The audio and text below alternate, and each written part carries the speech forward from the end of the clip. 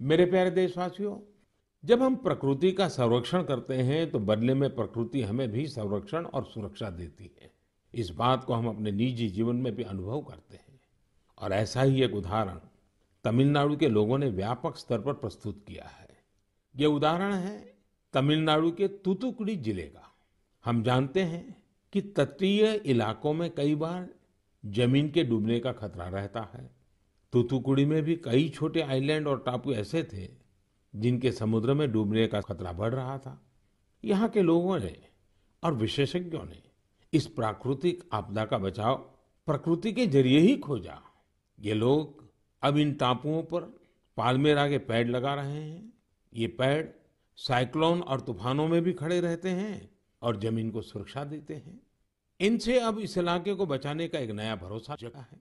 साथियों प्रकृति से हमारे लिए खतरा तभी पैदा होता है जब हम उसके संतुलन को बिगाड़ते हैं या उसकी पवित्रता नष्ट करते हैं।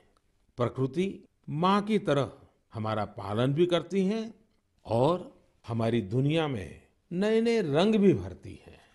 अभी मैं सोशल मीडिया पर देख रहा था, मेघालय में एक फ्लाइंग बोट की तस्वीर खूब वायरल हो रही है। पहली ही नज़र ये तस्वीर हमें आकर्षित करती है। आप में से भी ज़्यादातर लोगों ने इसे ऑनलाइन ज़रूर देखा होगा। हवा में तैरती इस नाव को जब हम करीब से देखते हैं, तब हमें पता चलता है कि ये तो नदी के पानी में चल रही है।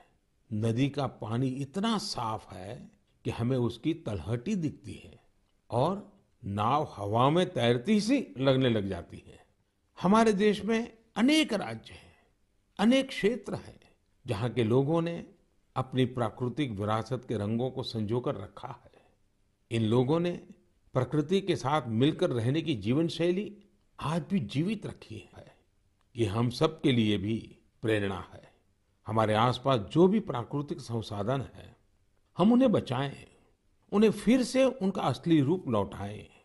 इसी में हम सबका हित है, जग का हित है।